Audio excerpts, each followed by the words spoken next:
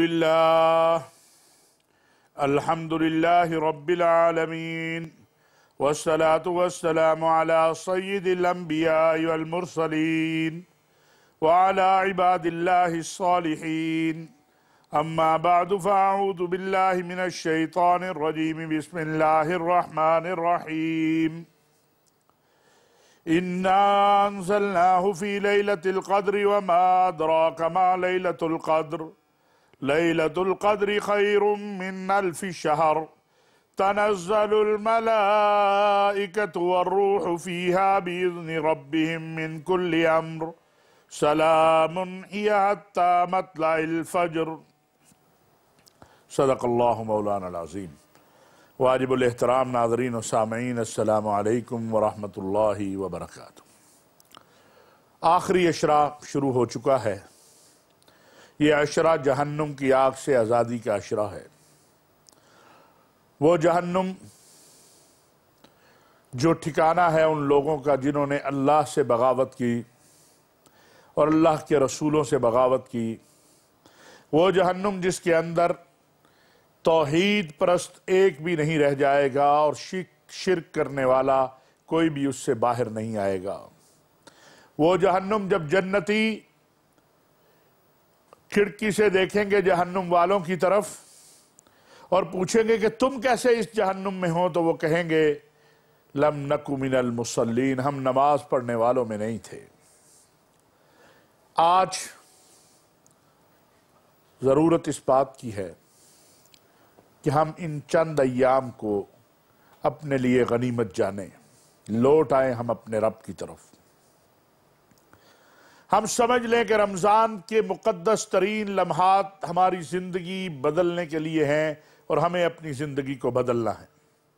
अगर हमने अपनी ज़िंदगी को ना बदला और ये मुकद्दस तरीन लम्हात जो हैं, इनमें हमने अपने अंदर कोई तब्दीली पैदा ना की तो ये फिर तबाही और बर्बादी और मायूसी के अलावा और कुछ ना होगा कि रमज़ान हमें मिला और हम अपने अल्लाह से अपने गुनाहों को माफ़ नहीं करवा सके। रमज़ान हमें मिला, हम अपने अल्लाह से अपनी दुआएँ न मनवा सके।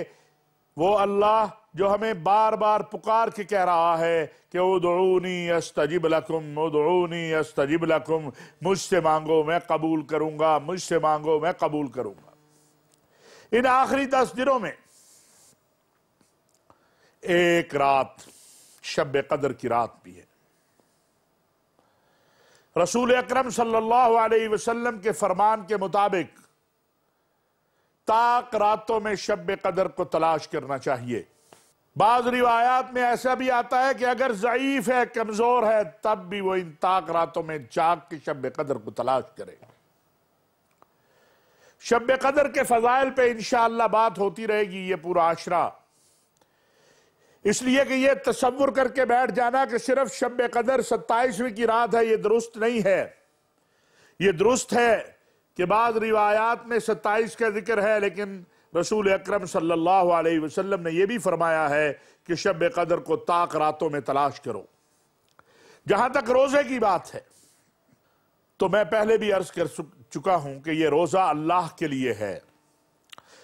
रसूल अक्रम सल्लल्लाहु ने फरमाया कि जिसने खालिश अल्लाह ताला के वास्ते रोजा रखा, अल्लाह तबारक व ताला उसे जहन्नुम से दूर कर देते हैं। इतना दूर, जितना दूर कव्वे का बच्चा इस कदर उड़े के उड़ता उड़ता बूढ़ा होकर मर जाए, यानी कव्वे का बच्चा जो पैदा हुआ और अपने मरने तक, बुढ़ापे तक उड़ता रहे, इतनी दूर जहन्नुम हो जाती है। इतना फासला बन जाता है। क्या हमारे रोज़े ऐसे हैं? ये एक सवाल है। हमने ऐसे रोज़े रखे हैं कि हमने दुरान रोजा झूठ छोड़ दिया, दुरान रोजा गईबत छोड़ दी, दुरान रोजा सूद छोड़ दिया, दुरान रोजा हसद छोड़ दिया, दुरान रोजा कीना छोड़ दिया, लोगों का हक मारना छोड़ दिया, लोगों की गीबतें करनी छोड़ दी। अगर तो ऐसा रोजा है तो फिर तो कामयाबी ही कामयाबी है। और अगर रोजा ऐसा है कि हमने रोजा तो रखा, ना झूठ छोड़ा, ना गीबत छोड़ी तो फिर गौर व फ़िक्र करने की बात है। खुश आमदीद नादरीन मैंने जैसे अर्ज़ किया कि हर रात एक करोड़ बंदे की अल्लाह बख्शिश कर रहा है। या अल्लाह हमें उन करोड़ में से एक बना दे। या अल्लाह, तेरी रहमत है। तेरी रहमत से हम मायूस नहीं हैं। तेरी मगफिरत से हम मायूस नहीं हैं। सारी कायनात को तू बख्श दे, तेरी बख्शिश के खजाने में कोई कमी नहीं आती। इतनी भी कमी नहीं आती जितना एक सुई समुंदर में डबो दी जाए और वो निकले उस पर जितना पानी लगा होता है। इतनी कभी भी रब तेरे खजाने में मेरे अल्लाह नहीं आती है।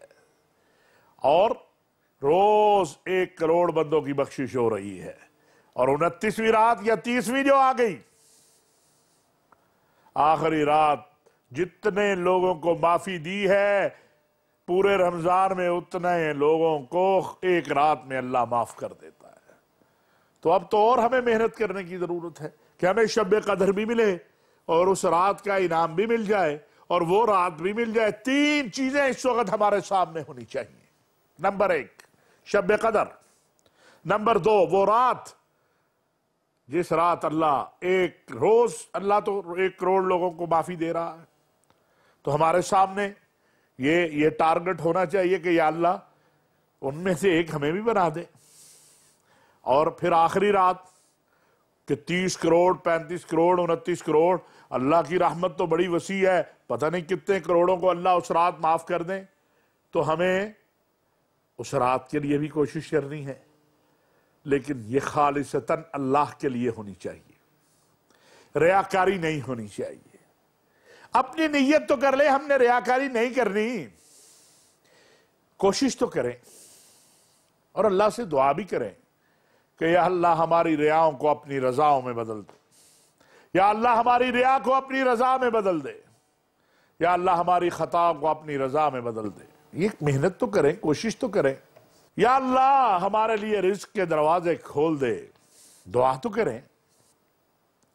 दुआ भी ऐसे हम मांगते हैं जैसे बड़ी जल्दी है। आम एक सखी या जिससे हमें काम हो, जब उसके दरवाजे पे जाते हैं तो कितनी लजाजत, कितनी वक्त तो क्या क्या इख्तियार करते हैं। अल्फाज का चुनाव। और रब के दरबार में हमें बड़ी जल्दी होती है। नमाज़ पढ़ते हैं फ़ौरन, भाग निकले। नहीं थोड़ा सा तो अपना हम अंदाज बदले। ये रमज़ान हमें बदलने के लिए आया है। ये रमज़ान हमें बदलने के लिए आया है। लाकुम तत्तकून। अपनी जिंदगियों में रब का खौफ लेकर आए। ऐसा खौफ नहीं कि जिसमें रब की रहमत से मायूसी हो जाए। ऐसा खौफ कि मेरा मालिक कहीं मेरे से नाराज़ ना हो जाए। उसकी रहमत पर पूरा एतमाद है, लेकिन उसका करम, एहसान, फजल, उसका तकाजा यह है कि वो मेरे से किसी तरह नाराज़ ना हो जाए। उसका तकाजा यह है कि वो मेरे से हर सूरत राज़ी रहे। उसकी रहमत बहुत वसी है। ला तकनतु मिर रहमत इन्नहु यगफिरुजुनूब जमीआ। अल्लाह की रहमत से मायूस ना हो जाओ, वह तुम्हारे सारे के सारे गुनाहों को माफ़ करने वाला है।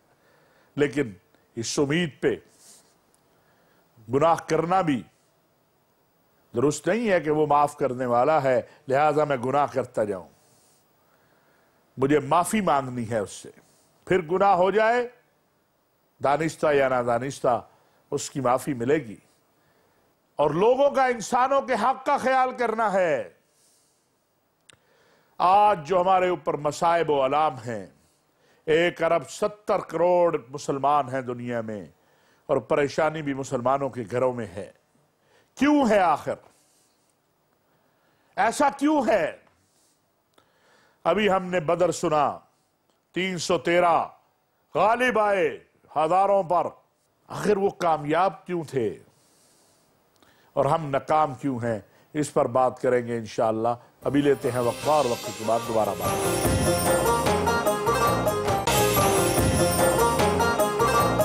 खुश आमदीद नाजरीन इंसानों के हक का हमें ख्याल करना है। मैं बार बार ये अर्ज़ करता हूँ। बार बार ये गुजारिश कर रहा हूँ। इल्तिजा करता हूँ। अपने घर वालों का सबसे पहले ख्याल करो। अपने बच्चों का, अपनी बीवी का, अपने माँ बाप का बहन भाइयों का, अजीज़ों का। ऐसा ना करो कि एक का तो हक बहुत ख्याल करो और दूसरे के हक में डाका डाल दो। दूसरों को हकूक से महरूम कर दो। नहीं, ऐसा नहीं है। बीवी का आप पर हक है, बच्चों का आप पर हक है। इसलिए हकूकुल्ला और हकूकुल इबाद दोनों को पूरा करना ज़िम्मेदारी है। अब मैं आपसे अर्ज़ करूँ, इन दस रातों में कुछ वक्त निकालना है। किस लिए? वो मैं आपको अर्ज़ करने लगा रसूल अक्रम सल्लल्लाहु अलैहि वसल्लम से जो रिवायात हमें मिलती हैं, उनमें से हमें यह बात मिलती है कि अल्लाह ताला रमज़ान की हर रात को एक मुनादी करने वाले से फरमाते हैं कि तीन बार ये आवाज़ लगाओ। कौन मुनादी करवा रहा है? मेरा अल्लाह, मेरा खालिक, मेरा राजिक, मेरी मुश्किलों को हल करने वाला, मेरी हाजतों को पूरा करने वाला जिसके अलावा कोई नहीं है जो हमारी हाजतें पूरी करे, मुश्किलें पूरी करे, हमारे, हमें रिस्क दे। कोई नहीं और, कोई और नहीं है। हमें औलाद दे, हमें इज़्ज़त दे। कुल्लामालिकल मुल्क तो तिल मुल्क मंतशा व तंजुल मुल्क मंतशा व तो इज्जु मंतशा व तो जिल्लु मंतशा उसके हाथ में सब कुछ है, इज्जतें भी सारी उसकी, अजमतें भी सारी उसकी। बादशाहतें भी उसके पास है, जिसे चाहे आता कर दे। एक आदमी जिसको कुछ नहीं आता, उसको चाहे बेहिसाब रिस्क दे दे। एक जो इलम से माला माल हो, उससे रिस्क छीन ले या उसका इख्तियार है। वो मालिक मुरादी करवा रहा है। हल मिन साइलिन, क्या कोई है सवाल करने वाला? कोई है सवाल करने वाला? ये कौन मुरादी करवा रहे हैं? अल्लाह करीम। जो मुझसे मांगे और मैं उसको, उसके सवाल को पूरा कर दूँ। मैं उसका सवाल को पूरा कर दूँ। मैं उसकी दुआ को कबूल कर लूँ। दूसरी आवाज़, ये पहला है, पहला। कोई सवाल करने वाला है? कोई है अल्लाह से सवाल करने वाला? ये मुनादी हो रही है आसमान पर की रात।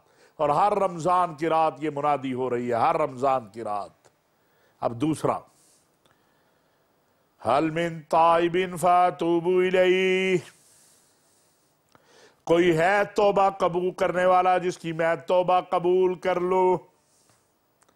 कोई है तोबा करने वाला, कोई है जिसको ये एहसास और निदामत आ गया हो कि मैंने अपने रब से बगावत की हुई है?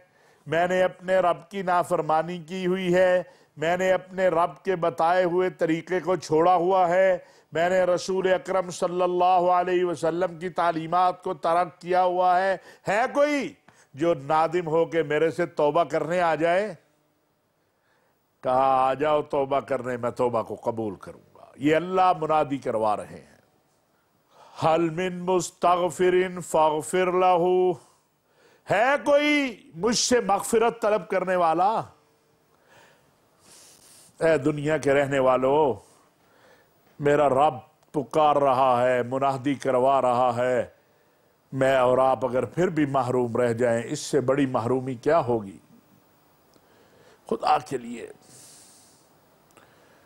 आओ, अभी पलट चले, अपने रब की तरफ़ चले। ऐलान करेंगे, या अल्लाह, जो आज तक गलतियाँ हो गई, जो आज तक गुनाह हो गए, सगीरा कबीरा माफ़ कर दे अल्लाह. ऐलानिया हुए, जाहरी हुए, या अल्लाह, तू तो करीम है, और तेरा आज तो ऐलान है, तेरे नबी ने कहा है, पूरी कायनात झूठी हो सकती है, तेरा नबी का फरमान झूठा नहीं हो सकता, तेरे नबी ने फरमाया कि कोई सवाल करने वाला है, जो मेरे रब से सवाल करे, ये रब मुनादी कर रहा है अल्लाह हमारी खताएँ माफ़ कर दे, दरगुजर कर दे। हम तोबा करते हैं, सच्ची तोबा, सिद्ध के दिल से। हमारी तोबा को कबूल कर ले, हमारे लिए आफियत के दरवाजे खोल दे। आलम इस्लाम के ऊपर जो मुश्किल और मुसीबतें आई हुई है, या अल्लाह, हमारे बदामालियों का नतीजा है। लेकिन तू तो करीम है, तू तो रहीम है, तू करम करने वाला रहमान है, तू रहम कर दे या अल्लाह। आज की रात, उन रातों में से एक रात है। हम अपने रब की तरफ़ क्यों ना जाएँ? क्यों उस मुनादी करवाने वाले की तरफ़ जाके उससे आज की रात मगफिरत क्यों ना ले लें? अपने गुनाहों पर नादिम होके तोबा की कबूलियत क्यों ना ले ली जाए? अपने लिए रिस्क हलाल के लिए दरवाजे क्यों ना खुलवा लिए जाएँ? अपनी औलाद के लिए और अपने लिए आफियत के दरवाजे क्यों ना खुलवा लिए जाएँ? अपने वतन के लिए, अपने वतन के लोगों के लिए, अपनी वतन की सिपाह के लिए, अपने वतन के जान इशारों के लिए, अपने रब से रहमत क्यों ना मांग ली जाए?